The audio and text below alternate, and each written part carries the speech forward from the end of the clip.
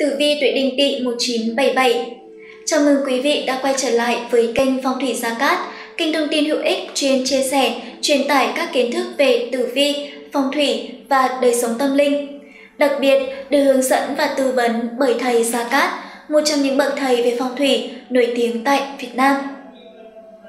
Quý vị thân mến, xem tử vi tuổi Đinh Tỵ sinh năm 1977 tháng 8 âm lịch sẽ giúp mọi người nắm rõ được vận mệnh của mình trên nhiều phương diện: tiền bạc, công danh sự nghiệp, sức khỏe, tình duyên của gia đạo. Qua đó, mọi người có thể nắm rõ được các hung nạp vận của từng tuổi, từng thời gian, từng ngày để từ đó có thể tránh hung, hòa cát, mọi thứ sẽ diễn ra may mắn và suôn sẻ hơn. Tháng 8 âm lịch, quý gia chủ được quý nhân phù trợ. Bên cạnh đó, mọi người cần phải cố gắng nhiều hơn nữa để có thể thay đổi được số phận. Ngay sau đây, kênh Phong thủy Gia Cát sẽ chia sẻ cụ thể tử vi của tuổi Đinh Tỵ trong tháng 8 âm lịch. Trước khi đến với phần tiếp theo của chương trình, quý gia chủ đừng quên nhấn like, đăng ký kênh và nhấn vào tín hiệu chuông để không bỏ lỡ bất kỳ video nào từ chúng tôi. Còn bây giờ, mời quý vị hãy tiếp tục theo dõi chương trình. Sau đây sẽ là phần tổng quan của gia chủ Đinh Tỵ sinh năm 1977, tháng 8 âm lịch năm 2021. Đinh Tỵ sinh năm 1977 là người có khả năng giao tiếp giỏi, năng động, sôi nổi. Họ cẩn trọng, thích những thứ hoàn hảo, hoa mỹ, có một gu thẩm mỹ tinh tế. Họ có thể công khai bày tỏ quan điểm của mình, áp đặt điều đó cho người khác. Đinh Tỵ là con giáp có khả năng thay đổi quan điểm của những kẻ cứng đầu nhất. Những người sinh năm đinh tỵ được trời phú cho ý chí mạnh mẽ, trí tuệ thông minh, khả năng tính toán và một tầm nhìn xa trông rộng. Với đôi mắt sắc sảo, luôn tìm kiếm cơ hội giúp họ nhanh chóng tạo lập vị trí vững chắc trước khi ai đó kịp ngăn cản họ. Theo kênh phong thủy Gia Cát, người tuổi tỵ là người rất tinh ý, thông minh, có điều kiện thành gia chủ trí giả, nhà kinh doanh đầy mưu kế. Bản thân họ cũng là người có năng khiếu về nghệ thuật. Người tuổi tỵ là người có tính độc lập rất cao, ít khi chịu phụ thuộc vào người khác. Họ giao tiếp không rộng rãi, tính rất cẩn thận, thận trọng khi nghe tin người khác bởi bản tính đa nghi của người tuổi đinh Tị, Họ cũng là một người rất hài lòng với cuộc sống của mình, thích sự hài hước. Xem tử vi tháng 8 âm lịch cho tuổi đinh tỵ sinh năm 1977, tháng này không thuận lợi với gia chủ trên con đường công danh, sự nghiệp. Công việc có thể sẽ gặp phải những sai lầm do chủ quan, đó cũng chính là yếu tố đưa đẩy doanh nghiệp đến các vụ kiện tụng không đáng có. Công việc không tốt, theo đó là tài lộc giảm sút, chi nhiều hơn thu. Lúc này bản mệnh cần đến những khoản dự trữ, có kế hoạch chi tiêu hợp lý. Sông có khúc, người có lúc nên bản mệnh cũng không cần quá muộn phiền, lo lắng, ảnh hưởng đến sức khỏe vốn đã không được tốt. Thời điểm này đang giao mùa nên cần chú ý hơn đến sức khỏe, nắng nóng nhiều sẽ tái phát bệnh cũ. Gia đình bản mệnh cũng sẽ có những xích mích, xung đột trong tháng này là người cha, người mẹ, gia chủ nên dung hòa ý kiến của con cái thay vì cố chấp cho rằng mình luôn đúng. Đinh âm hỏa gặp đinh âm hỏa nên gọi là tỷ kiên, nghĩa là ti hòa với bản mệnh. Trong tháng này, những người tuổi đinh tỵ cần đề phòng có tranh chấp với anh chị em hoặc bạn bè người thân quanh mình.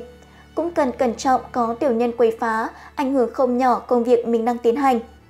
Ngoài ra, cần chú ý nghỉ ngơi, ăn uống điều độ, hoạt động thể dục thể thao, tránh quá xa đà vào công việc khiến đầu óc căng thẳng, thân thể suy kiệt dẫn tới bạo bệnh. Quý vị thân mến, trong phần tiếp theo của chương trình, kênh Phong thủy Gia Cát xin chia sẻ rõ vận trình gia chủ tuổi Đinh Tỵ sinh năm 1977, tháng 8 âm lịch qua từng phương diện cụ thể của cuộc sống.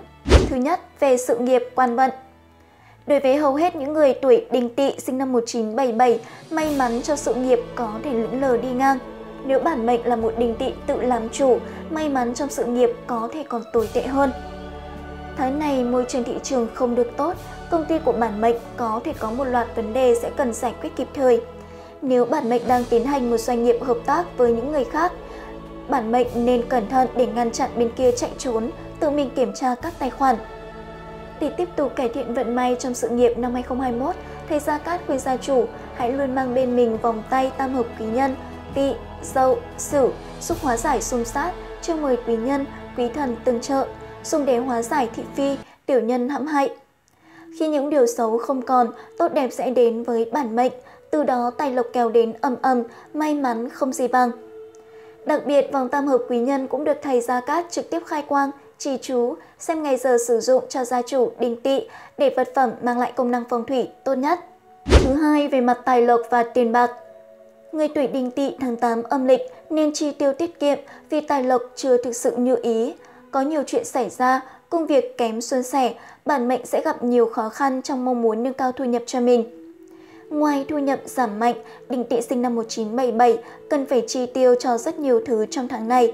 Bản mệnh nên quản lý các vấn đề tiền bạc đúng cách, không đầu tư tất cả tiền của vào một dự án duy nhất mà phân tán để giảm thiểu rủi ro. Khi đi ra ngoài, đừng mang theo nhiều vật có giá trị bên mình hoặc bản mệnh có thể sẽ bị những kẻ ngoài vòng pháp luật bám đuôi.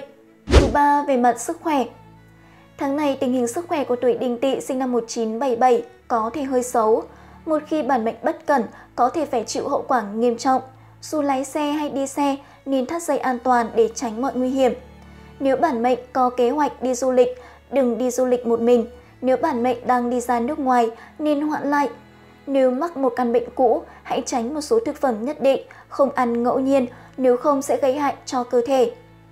Bản mệnh cần chăm sóc cơ thể tốt, giữ chế độ ăn uống hợp lý nhẹ nhàng, chăm chỉ luyện tập các bài tập vận động, thể thao theo độ tuổi nên thường xuyên đi chùa để giữ được tâm thế thanh tịnh, thoải mái. Gia chủ tuổi Đinh Tỵ sinh năm 1977, hãy luôn mang bên mình pháp khí phong thủy, minh quang, pháp bảo. Đây là vật phẩm phong thủy có tác dụng kỵ tà, hóa sát, đem lại may mắn, bình an, sức khỏe cho gia chủ. Để vật phẩm phát huy tác dụng tốt nhất, thầy Gia Cát sẽ khai quang, trì chú, xem ngày giờ sử dụng vật phẩm theo tuổi của gia chủ đình tị. Thứ tư về mặt tình cảm, gia đạo. Tháng này mối quan hệ giữa các thành viên trong gia đình không được tốt, bản mệnh sẽ phải để tâm lo lắng rất nhiều về những đứa con luôn không vâng lời, mất nhiều thời gian lòng vòng trong đó. Bản mệnh nên thư giãn, sống cuộc sống của riêng mình, hãy sống vui, sống khỏe. Là người cha, người mẹ trong gia đình, hãy là tấm gương sáng để con cái noi theo. Bản mệnh đã sống quá nửa cuộc đời, biết cái gì tốt và cái gì không tốt cho con cái và cho chính bản thân mình. Với những người còn độc thân, mặc dù một vài mối nhân duyên sẽ đến, nhưng tất cả đều không thành, do tính cách của bản mệnh không hòa hợp được với đối phương. Bản mệnh cẩn trọng, tỉ mỉ nhưng không nhiệt huyết, ga lăng. Tuy vậy cũng không nên buồn chán hay có những suy nghĩ tiêu cực. Chỉ là duyên chưa tới mà thôi. Quý vị thân mến, chúng ta đã vừa tìm hiểu xong về tử vi của tuổi đinh tỵ trong tháng 8 âm lịch.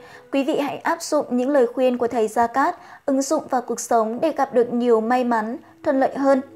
Trong phần tiếp theo của chương trình, kênh Phong thủy Gia Cát sẽ chia sẻ những ngày cát lành, đại kỵ trong tháng 8 âm lịch để gia chủ tuổi đinh tỵ có thể nắm rõ, tránh trường hợp không may xảy ra.